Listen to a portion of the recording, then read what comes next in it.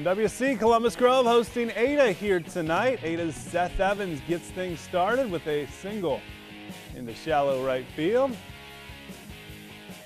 And it's Evans not content to be at first, takes off, and he is safely into second ahead of the tag.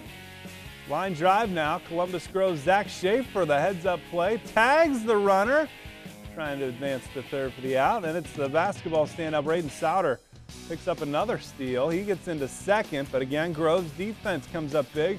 This time with the pitcher, Cole, Cole Everhart getting the K.